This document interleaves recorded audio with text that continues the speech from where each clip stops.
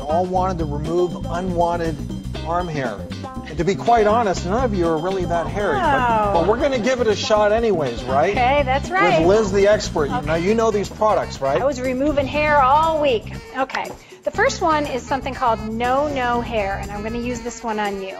Essentially, it uses heat to kill the hair follicle. The idea being a thermodynamic wire that singes and burns off the hair and eventually kills the hair follicle underneath.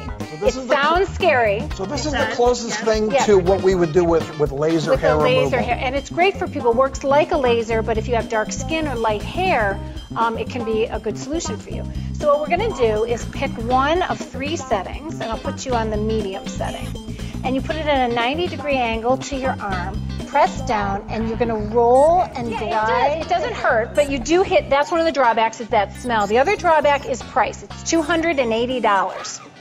But I will say that if you use this two to three times a week for a couple of months, there is a 94% reduction in regrowth of your hair. So it can be a good.